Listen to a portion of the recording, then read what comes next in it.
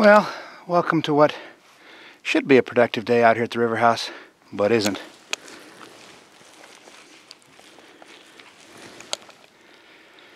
We can't do anything.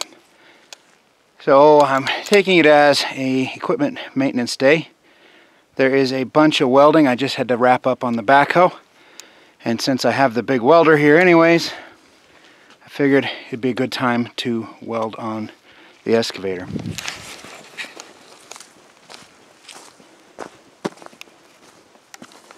So one of the problems we've got are a number of pins that are moving in the wrong spots. So pins are really only supposed to move where they've got hardened bushings and grease. And so you take this thumb for instance and instead of moving in this center block here on the piston where I've got Jesus did I do that? Where I've got a hardened bushing and a grease fitting, it's wanting to, to spin out here. So I've got some tabs to weld on that I can stop it from, from spinning right there. And then this main bucket pivot pin. It doesn't move too much, but it does move. So I'm going to see if I can get it back up here where it belongs. We have got the uh, main bucket pivot with grease fittings. And there are no grease fittings in the thumb pivot. So this pin needs to go right here so that it pivots with the thumb and then that'll force it to not spin inside this joint but force it to spin in that joint and that joint, both of which are greased. Hmm. If I can get this thing apart right here, we're missing a, a grease fitting down in there.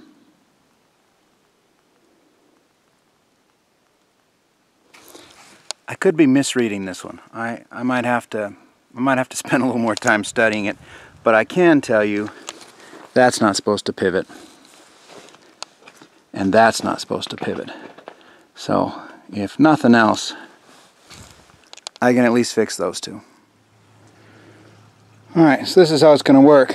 This is actually Dad's design. I was going to weld a tab that was straight up, and he came up with this. It's way more elegant than what I was going to do. It's just a piece of pipe cut.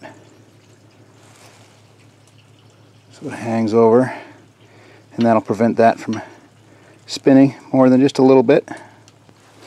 And then on this one,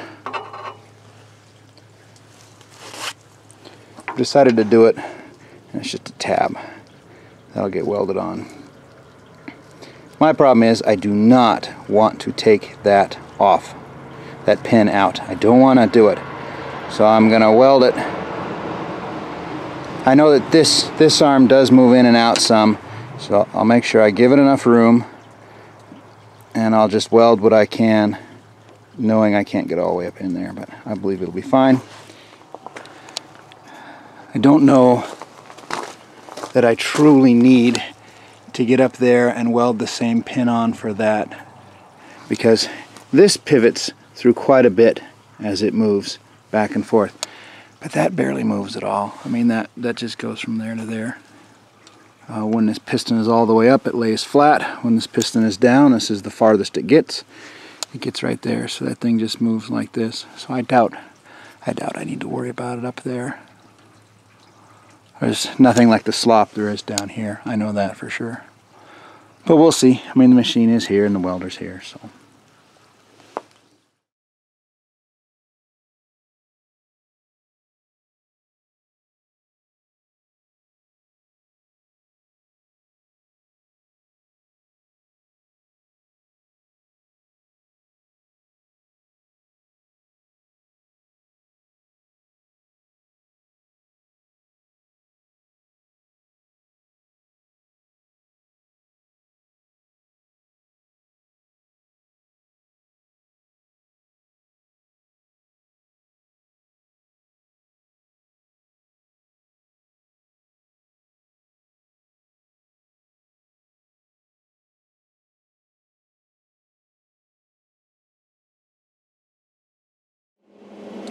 I think the welding's all done now.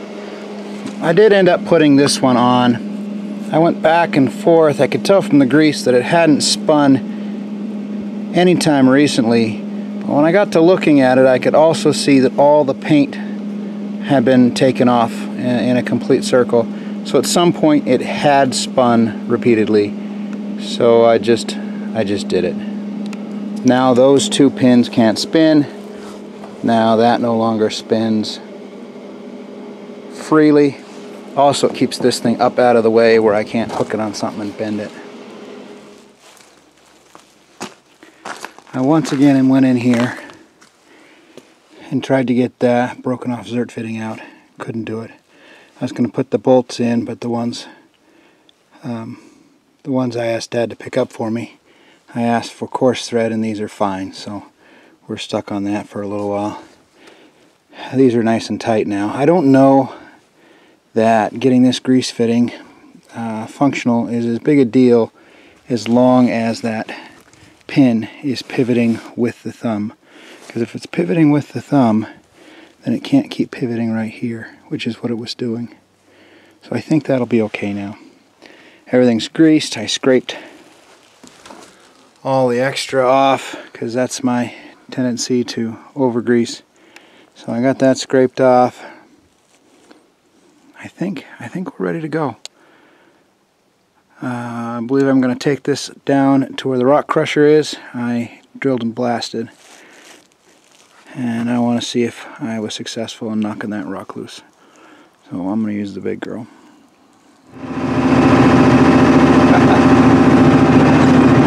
I got to get through here without taking down the internet and tel uh, telephones for half the county, which apparently is in that little fiber optic bundle up there.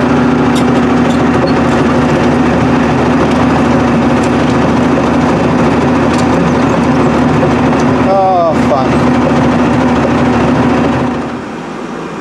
so right there is where I did the blasting. Just two holes. The problem I'm having is as I run the backhoe down to scoop up the crushed gravel, I run the hoe up on this flat of rock and I suspect that's that's what broke that pin is is basically backing into it like that. So I did two shots right there I, I, think the rest of this is probably pretty loose. This looks like one of the active places they were mining, so I think that I can probably just rip up chunks over there. I guess we're all about to find out together, and I'll get to watch my uh, pin corrections and see if they work.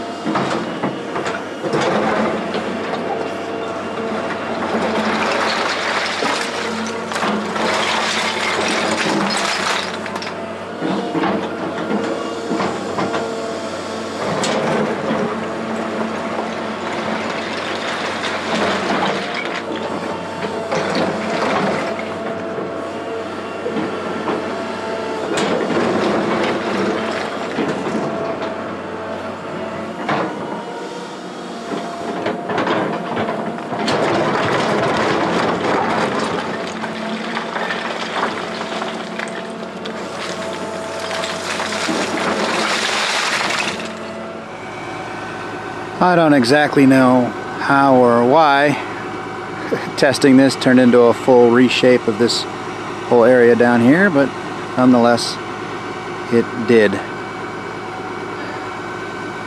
I've inherited my son's guilt about taking down small trees. trying to figure out what I can do with that one, if I can scoop it out whole and put it someplace. But I can't imagine once I rip it out it'll survive. The other two or three we've tried, it hasn't worked. So, well, so much for getting a bunch out with the blasting. It uh, appears to be quite hard and not much worked. So it's going to take three or four more hits right in there and probably six hits out in there.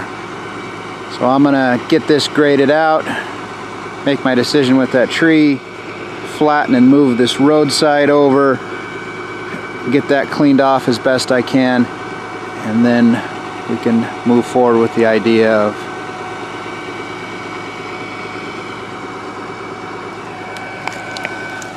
I mean this is all pointless stuff but I literally can't work up above. I cannot work right now and I won't be able to work on it at least until tomorrow. So I figure if I can solve a problem which caused me a problem with the backhoe then so be it.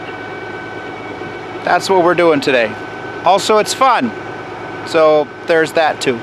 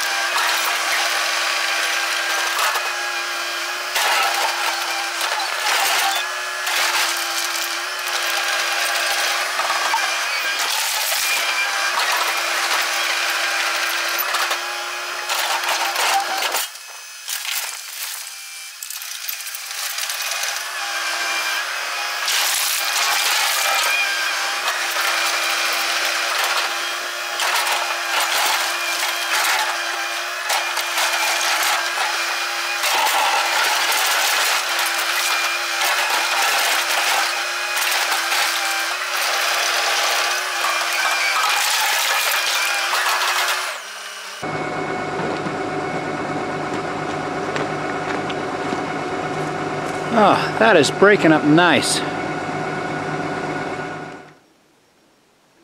Well, it's a mess, but it's a good mess.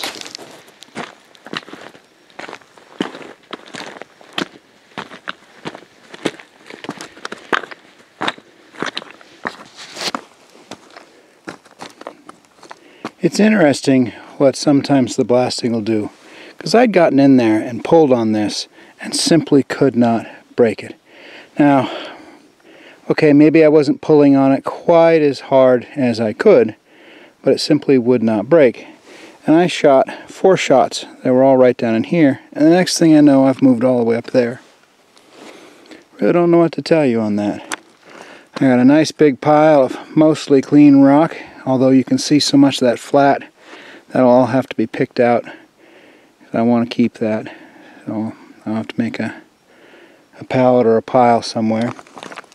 And though it's not related, you can see the first bit of the new um, upper property road. So the current road goes past the house and then just goes straight up. Well, there's one real straight stretch I don't know that I can get out of it. But one of my goals is to make a passable road up there. So here's the beginning of it. It will come through here. It will go around that knoll. It'll come out right up there. It'll go across to the base of that cliff and back into that big pile of rock up there and then curl up. And in so doing, I'll have made a road that's half as steep, although it'll be twisty. I also, when I was walking it today, I ran into a Canadian goose up on top. No idea what he's doing up there. He wasn't happy to see me. But yeah, I think I think we're done. I'm gonna gonna head on down. This is a very low priority. This is a when I'm angry at the world or just something about just sitting and moving dirt makes my brain function better. So if I'm working on a problem or something, I'll, I'll just come down in here and, and work my way around. Uh, a little sketchy with that uh, that fiber optic. Man, I wish there was a way I could convince them to relocate that. I was always thinking if they were going to move the road, I would make the push that uh, they put the power line down alongside the road or even trench it in, which seemed quite likely because that's what they've been doing in a lot of other places. But they just installed a flashing 40 mile an hour curves ahead sign down over there and one over there, I think. So, in my mind, that might mean they have no intention of widening the road and they might just slap that band-aid on and call it a day. So I'll just have to be really careful with half the county's fiber optic above my head. But look how glass smooth is out there today. What a difference the last two weeks has been this this day. What a tremendous difference. I want to row across and explore all that with Shay. Today would have been a great day to do it. Oh well. I'm happy. I didn't get stuff working towards the house, but I got stuff done. And uh, tomorrow I walked around up there and I'll be able to, as long as it doesn't rain or snow again tonight, I'll be able to work out there tomorrow. So tomorrow that's what we'll do.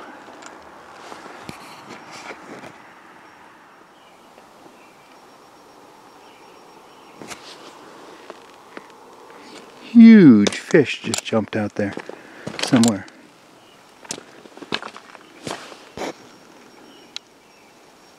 Oh well. Thanks for coming along with me.